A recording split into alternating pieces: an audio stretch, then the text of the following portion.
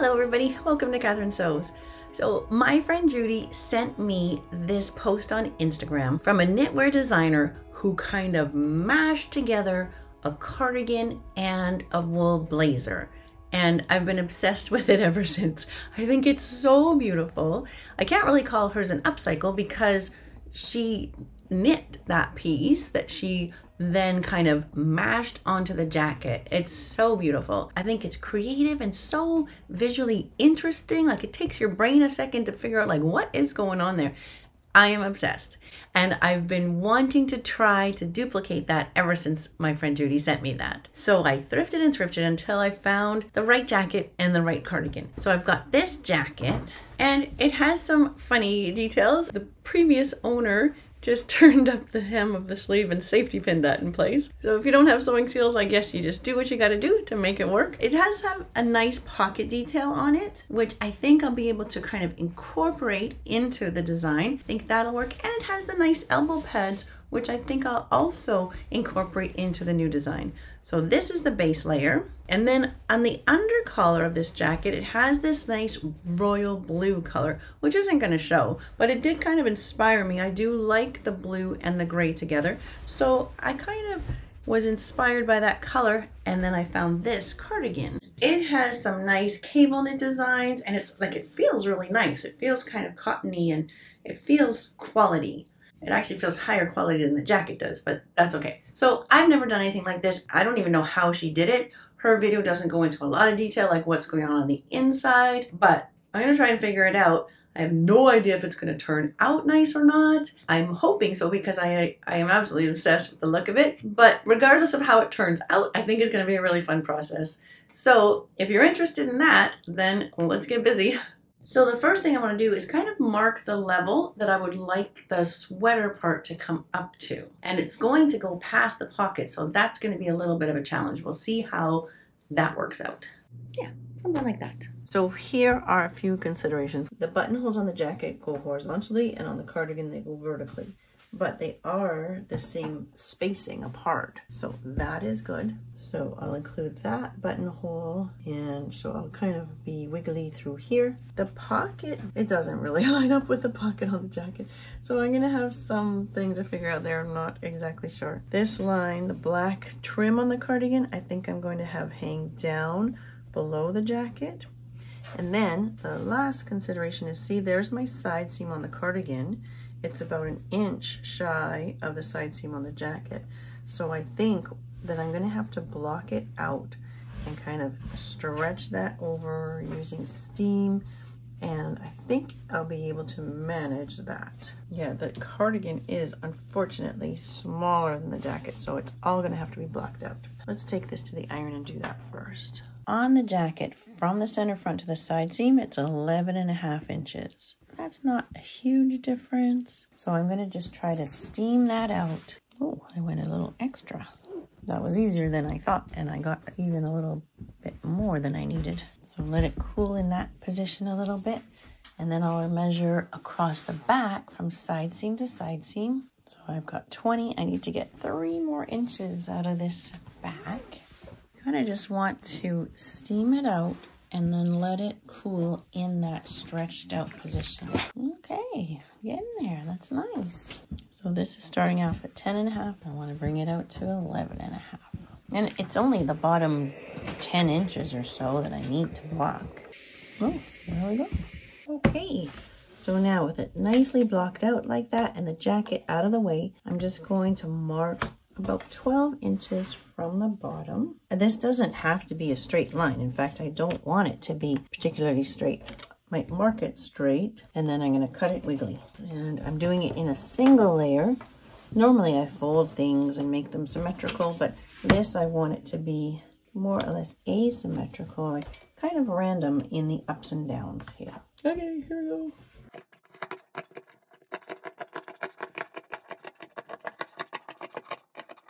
Okay, that was fun. I enjoyed that. And now both sleeves, I think I want the sleeves to kind of hit at the same level. That is all that's left. Okay. So now it's just a matter of sewing it on and kind of pulling up those little lines like she had. Except that I have got the complicating factor of this pocket and this pocket. So I'll put a couple clips at the buttonholes so I keep those front edges nicely together. And I think on hers the knit wraps around, but I don't have the luxury of that. So now my side seam comes nicely to the side seam. So that worked out great. And I'm just gonna let that black line of trim hang off the bottom here. And maybe what I'll do is I'll just throw a few pins in here and then I'll be able to try it on and see how it's looking and hopefully fall in love with it. Okay, this is all gonna get cut into a lot more, but I kind of just wanna get it placed and make sure it's gonna kind of work. Okay, button situation. I like these buttons a lot more than these buttons. But I think if I'm going to keep them on the pocket, then I'm going to be one short. Oh, but I have the ones off the sleeve. So maybe the buttons from the sleeves can replace the pocket ones. That might work. Okay, so I think I have to remove these buttons as well, but then I want to place where that button was. I want to place it right where this button was because the buttonholes lined up just by sheer luck. The buttonholes lined up on the other side. So I need the buttons to line up on this side. Now, you know what? It's going to be a lot easier if I just leave that pocket, especially since the other, the jacket pocket doesn't quite line up. By far the easiest thing is to leave this, just remove that jacket pocket. It's just a patch pocket. So that's going to come off easily, but I just like it. Oh, maybe, okay. How about if, I, okay, here's the idea. I'll remove this pocket, but then I'll maybe try to see if I can use that flap on the outside. And this pocket is stitched twice. It's on there, but good. So that to me sounds like a movie. that sounds like it's time to sit on the couch and watch something entertaining while I remove this pocket. So, all right, I'll remove both of these pockets and come right back. Okay, so I removed the pockets from both sides and I tried playing around with it on this side and leaving it just the cardigan pocket on this side. And I just don't think this is really successful. It just kind of adds bulk. I thought it would be an interesting design detail, but no, I think it's better without. It just becomes, you know, super bulky there. So let's get rid of that. But I'm going to have a couple extra buttons from the sleeves. So they're a bit smaller, but I will put a little button at the bottom of the pocket. So I think I will have enough to do four of the big buttons down the front. If not, I might have to find one like this, which I might have one in my stash, and then two small ones there. That makes life a lot easier if I'm just using the cardigan pocket. But I'm still glad I removed it, removed that other pocket from the inside, because again, it just reduces the bulk. So with black thread, I'm just going to be sewing around on the trim, and then I'll go in with the blue thread and making all those cuts. That'll be kind of the fun part. So just want to anchor it down on the black to start with. Okay, let's go to the machine. This is trying to slope inwards like that and I just want to keep it looking straight. I don't think I'll go right up to the top edge though because this is all going to get cut into. So I'll stay a little bit below the top edge and I want to make sure these edges stay together. And I've got a regular needle and I'm using a stitch length of four millimeters. I thought a longer stitch length is probably smart because it's all so thick. And it was just a stroke of luck that these buttonholes lined up. Would I be smart to make a buttonhole right there before I sew that? Yes, because can you imagine trying to do that? Okay, back up the train. Let's do the buttonhole first. Quick buttonhole, and it's only one. So we'll start at that pin and go up. Okay. Good, so now I can line up those two buttonholes. I'm glad I thought to do that.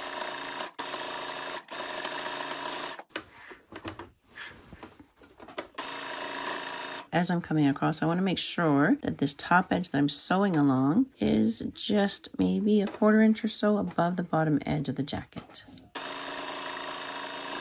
And I've already got it pinned to have the side seams lined up. And if you're wondering, there's absolutely no reason why I pinned part and clipped part. Either way works just fine.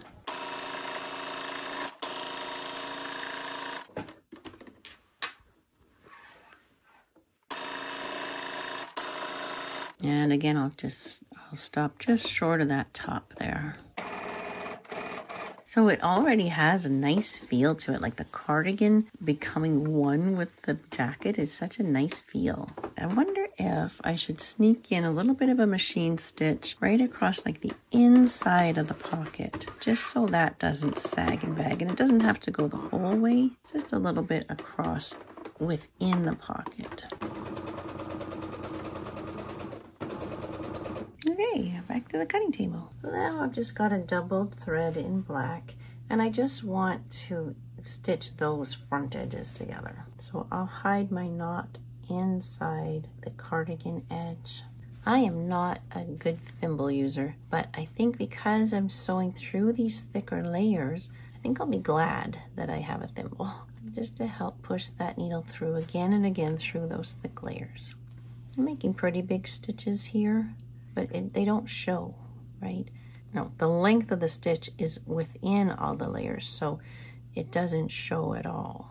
And so I feel like I'm kind of stalling a little bit because my mind is still wondering how to distress, deconstruct the top edge of this blue. When I look at the video, I've watched that video a hundred times now, and it's not a tutorial, right? It's uh, it's an overview of her artistic creation, and so it doesn't really teach you how to do that. So I'm watching and watching, and I think like I don't really know how she got it all stringy like that. So I'll just hand sew both front edges like that.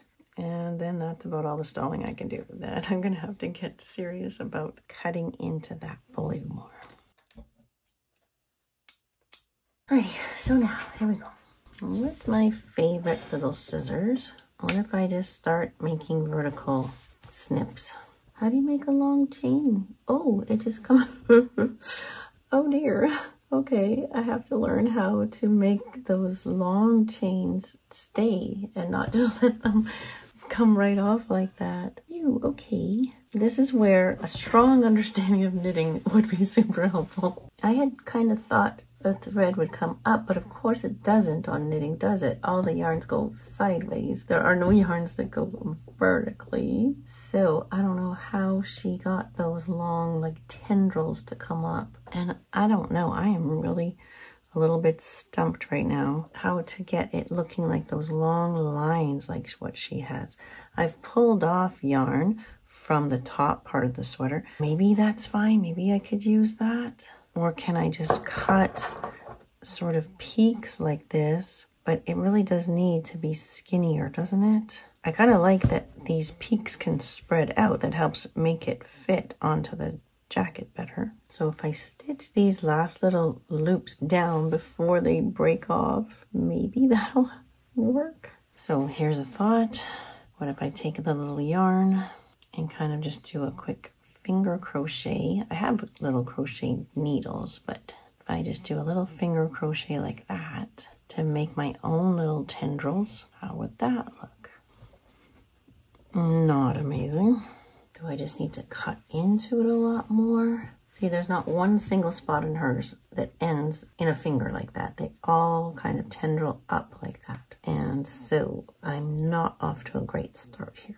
I'm trying to shape these little bits into a tendril. It's a good thing my thread is a good match because I'm making like a million little stitches here. It would look really pretty bad, I think, if I didn't have a good match in my thread. And what I'm trying to do is sort of stretch those up a little bit without just pulling them right off. Because each of those little loops because that yarn is cut there you know it's just a very short piece of yarn in there. So it comes out way more easily than I really had planned for. But of course it makes sense.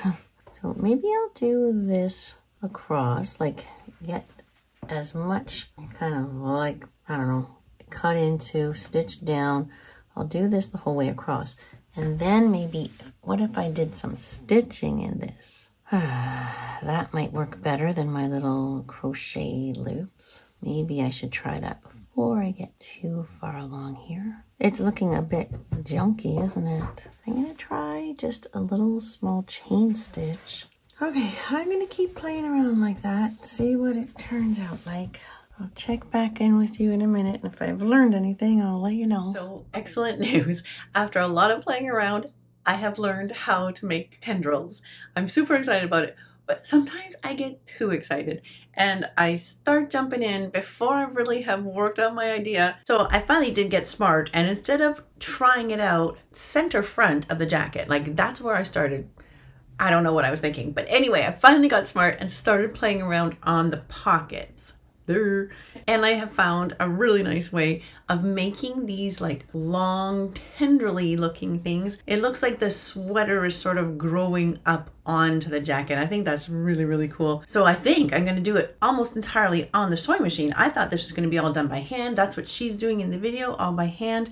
And I watched that video a whole bunch of times and I slowed it down, but it still skips so much. So I think I've got it, but I still don't know how I'm going to do the sleeves, right? I can't get into here with the machine very easily. So the sleeve might have to be a different technique by hand. Hopefully I can make it look the same. So anyway, let me take you to the machine and show you what I've worked out. So these are the tendrils that I've successfully made. I've made two, but you can see for the rest of it, I've cut into it a lot. And so I'm going to be sewing those down. That's just step one though. Adding these longer tendrils, that's the magic. So I'm back at my machine and I think what I'm going to do first at the side seams, I'm going to start at the bottom and just sew right in the ditch of the seam all the way up just to keep that kind of anchored.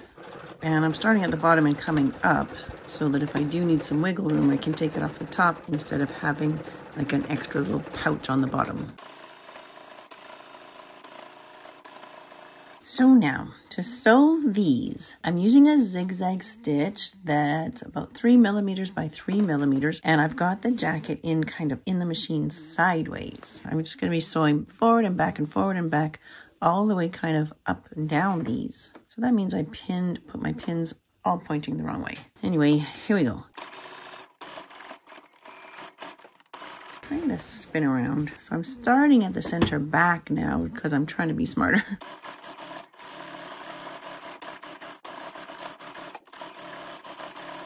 So you can see what it looks like once it gets zigzagged down. It kind of looks cool. It kind of flattens it out much better than I could do by hand.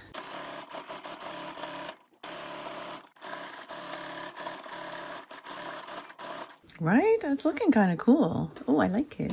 So I, you can see I'm being pretty messy. Like if this showed my stitching, you could see it's like kind of all over the place. But it seems to be working. One thing I'm trying to do is to keep them straight. I don't want any of them bending at all. When I was practicing on the pocket, it looked a little bit bent and crooked. It just does not have a good effect.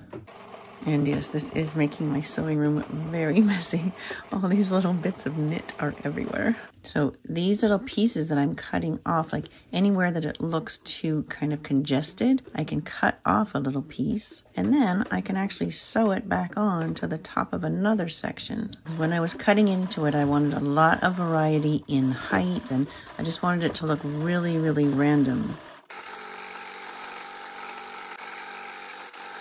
So that's halfway. I'll do the other half and then I'll show you that magical tendril part. Then I finished zigzagging it all and now I'm just giving it a haircut. Any part that's sort of sticking out, I'm chopping off just close to the zigzag and now this is even messier. The idea is to make the cardigan look neater, but it's making my room look messier. And yes, I sewed it all through you know, through all the layers, even right through the lining. I'll show you what the lining looks like right now. It looks kind of cool. It looks almost like corset work. I have to vacuum up this mess, but look at the lining. See that? It looks kind of beautiful.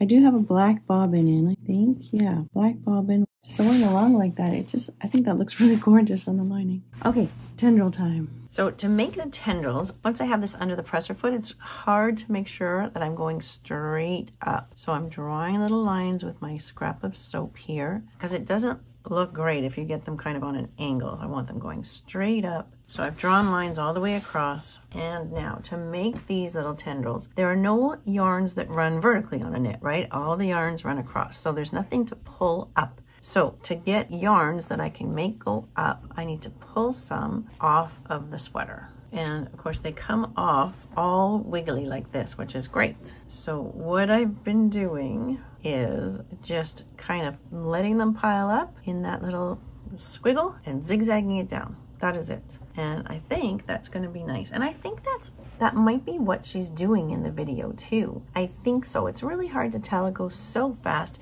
Even when I play it in a slower setting, it's still really hard to tell what she's stitching down to it. So I think that this works nicely. I'm very afraid of what I'm going to be doing on the sleeves here because how do I get in to do that same effect? And I really do want to have it on the sleeve. It looks so nice when it's kind of all at the same level, but how do I get in there? So the sleeve might have to be done by hand. So I will be taking off half of the elbows, uh, the elbow patch, getting the knit under there. I've got that. And then sewing the elbow patch back on. Might all have to be done by hand. So let's get this part done and then continue. So my zigzag is three by three and I've got my whole little collection of wiggly threads here and it's pretty uh, loosey-goosey.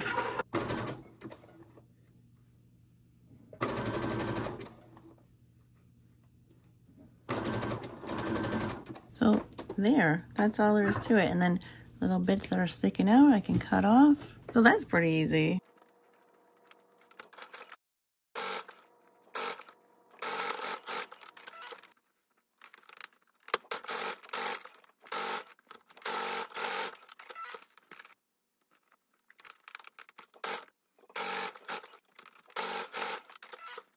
So that's basically the process.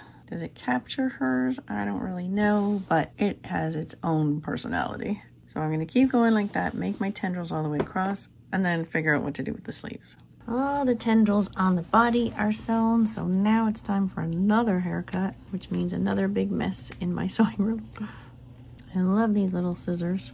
There's a link to them in the uh, description box. They're just so handy. I've been using them all the time these days.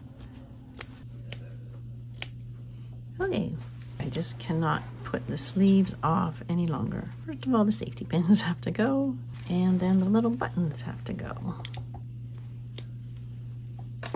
And then the lower part of the elbow patch needs to come off. I think that will look nice to have the elbow patch covering part of the sweater. I think that'll look good. Okay, I am quite scared about doing these sleeves. Just gonna have to figure this out. So one sleeve is basically done. I haven't reattached the elbow patch yet, but the tendrils are all on the sleeve. I had to do that all by hand. And so you know what? It took me more than two hours to do that one sleeve. Oh my goodness. So now the elbow patch, I do like it. I think I'm to sew it back on, but it's starting to delaminate. Like this is not a real leather starting to delaminate, so I pondered, I have a leather scrap. I pondered maybe I would just make new elbow patches, but you know what? I'd have to sew it on by hand. This one I can sew on by hand. At least it's got like needle holes punched in there already for me, and I think I'll be able to sew that on by hand without too much difficulty. Starting from a new piece of leather, that's a whole other video in itself. So, and it's something I can do later, right? I don't have to replace that elbow patch now. It can totally be done later. So I'm going to show you how I did the sleeve. I am thoroughly in love with the jacket. I love it so much. I keep trying it on and I just want to wear it. I can't open up the sleeve and do this flat, mainly because the sleeve is a two-piece sleeve. So there's a seam here and a seam here. There's the undersleeve and upper sleeve. Whereas the cardigan sleeve is just one piece sleeve with one seam. So the seams shouldn't line up. And also it's lined like it's everything. So I can't just open up the sleeve and do it flat. That's why I'm having to do it by hand. So to get this sleeve on, I can't line up the seams the way I did on the side seam here. So I want to just get this cable kind of in line with the top of the sleeve here And I want to get the seam of the sleeve in line with the side seam of the jacket. Now you can see the jacket is getting you know, it is already a little bit pilly and then it's got all of the extra pills that I've been putting on it. So I think at the end I'll go over the whole top part of the jacket with my GoGoLint sweater shaver. I think that'll make a nice difference. So with the sleeve in line and I'm just bringing the black edge of the cardigan past the jacket and the sweater has to stretch a little bit but once I steam that into place it's going to be just fine. Like the cardigan will accommodate the jacket no problem. Okay so the only machining I can do is around this bottom edge. That is it. So I'm just going to be sewing on here and just catching the edge of the jacket. Everything else, like I just can't. I tried getting this into the machine and the free arm makes no difference at all because I'm not really sewing this way. I'm sewing this way, right? And so the free arm does not help. So then with it in place now, I want to just cut more into the edge and in fact, where the elbow patch is going to cover, let me just make sure I've got these looking the same.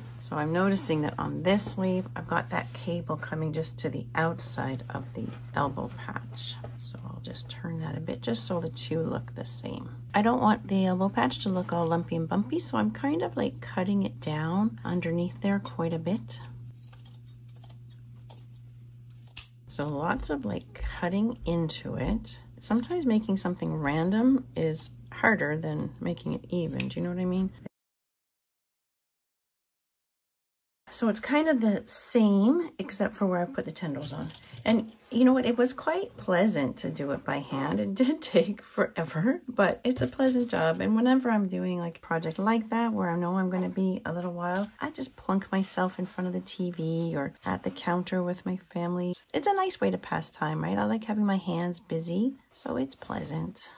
So I'm not complaining about the two hours. It was nice. So to be able to sew these, I've got a, just a heavy piece of plastic. This is just a granola bag. So I'm putting that inside the sleeve. If you have one of those like bendable uh, cutting boards, that would work too. Or sometimes the plastic that comes at the bottom of a shopping bag works nicely. But my granola bag is doing the trick for me here. So with my double thread, I'm just going around once, trying to stitch over the edge. I'm trying to get it to look just as flat as it does in the body where I was able to use the machine. It's nicely flattened out there. When you're stitching by hand, I'm not going to be able to flatten out the edge quite as much, but I'll be going around twice. So I'm going all the way around just to get these like little hills and valleys sewn down and then I'll go around a second time and adding in the tendrils on that second way around. So it's, you know, it's not hard. It's quite pleasant. I enjoy this kind of work. It's an overcast stitch going right over the edge. So it's pretty straightforward and easy. In fact, if you, this whole project you could do by hand, right? The whole body I could have done. It just would have taken a long, long time.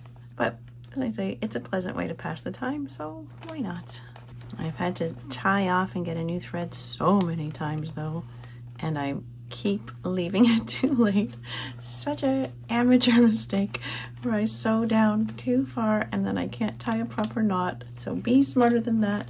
Tie off a knot and start with a new thread before you get your thread too short to tie a proper knot. So sewing on the tendrils by hand and I think this really is exactly what she's doing in that video with my granola bag in place. So I just got a little scrap of the wiggly yarn and I can kind of overlap it a bit.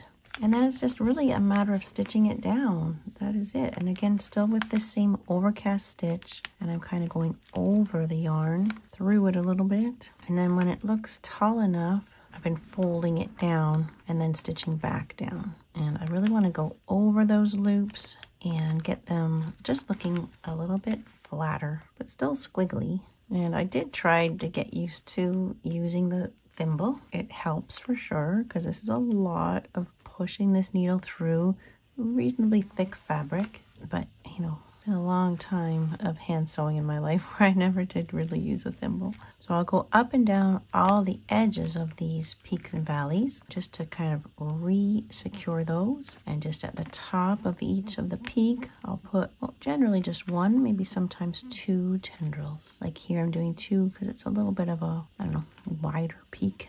Okay, I'll go all the way around like that, putting all those tendrils on. Okay, so I finally realized just how bad and how delaminated these elbow patches are, and I can't put that back on. That's just too sad. So I've got my bigger piece of leather here. I think I'll just use the original piece as a little pattern. I'm gonna draw these ovals. So hopefully I can see that pen line. You might not be able to see it at all, but pen sort of shows up reddish on the black leather. And I'll just sew around with no thread, right? I don't actually want stitches there. I just want to punch the holes. So I'm sewing on the elbow patch and I am just doing it as a running stitch. I played around using a blanket stitch and a back stitch, but it is no fun sewing this on. I'm using my thimble for sure because pushing through this leather, even though I do have needle holes punched in there from sewing around it, it's still no fun. And so I think that sewing around by hand isn't super pro looking, but the whole thing has this deconstructed feel to it and look to it. So I think that the hand sewn running stitch is just fine. And that's all I got to give. That's all I have left to give. So I've got one done. I think it looks just fine. I am definitely glad that I didn't just sew back on the one that was the fake leather that was all delaminating and looking really scruffy. It wouldn't have felt good to go through all this work and then sew that yucky one back on. That wouldn't have made any sense at all. So even though I'm not having fun at the moment, it will be worth it. I'll finish up with this elbow patch and then it's just a matter of sewing the buttons back on. I put a little bit more of the sweater coming out of the breast pocket just because it was seemed like it was sort of crying out for it. So that was kind of fun. And I just did that on the machine. That took like two minutes. Okay, so I'll just finish this one up, sew on the buttons. Oh, and then I might do a little bit with my Ranbu GoGoLint sweater shaver. And then I'll show you the finished product.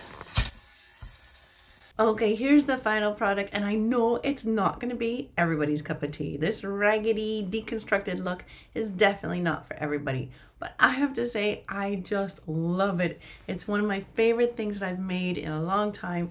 It feels just heavenly, like it feels kind of funky and cool, and it's soft and cozy. I just absolutely adore this jacket. I hope you do too. I hope you enjoyed watching the crazy process. And it was a long process, I'm not gonna lie. Just that handwork on the sleeves, like that was hours. But it's, as I kept saying, it was pleasant. I enjoyed the process. And so that's a win. And a special thank you and loads of respect to the knitwear designer Nadya Seredina, who made that original video that I just adored so much. Thank you, Nadya, for the inspiration and the awesome original idea. I love it. So, as always, thank you for being along with me right to the end. I really appreciate it. And until next time on Catherine Sews, you take care.